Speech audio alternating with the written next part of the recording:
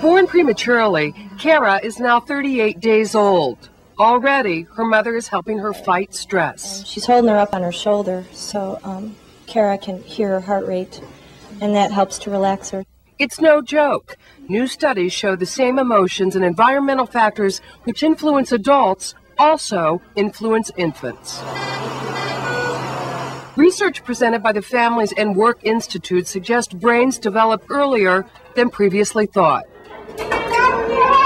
Experts say this new body of knowledge has overwhelming cultural ramifications. Kids attending this daycare center are receiving the attention they need, but those who don't may always be impaired, socially and emotionally. I don't care what you do. I don't care if you take all your money and dedicate it to treatment.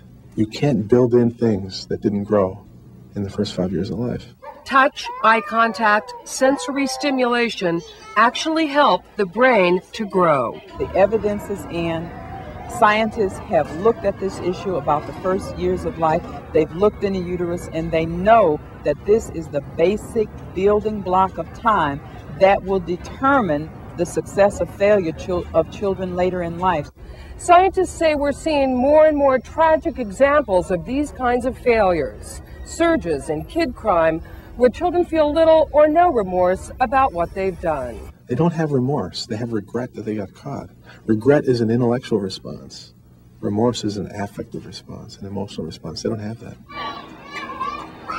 And the irony, social scientists say, is that those most important first few years are often the ones given the least attention. It's a very culturally foolish thing. Lisa Price for CNN, Chicago.